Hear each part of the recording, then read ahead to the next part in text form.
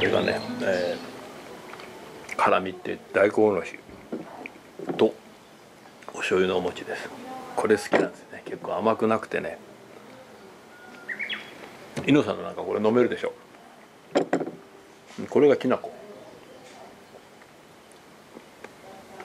今ね作りたてでとっても美味しいですね。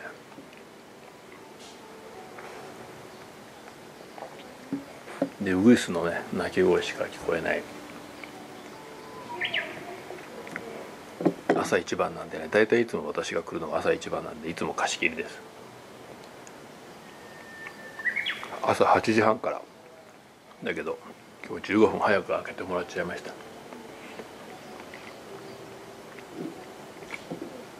伊野さんみたいにね、えー、飲み物飲みたいところなんですけど。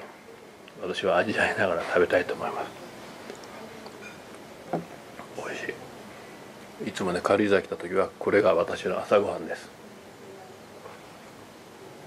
本当はねこの後でいつも万平行ってコーヒー飲むんですけど今日はね最近万平変わっちゃったんでパスしようと思います。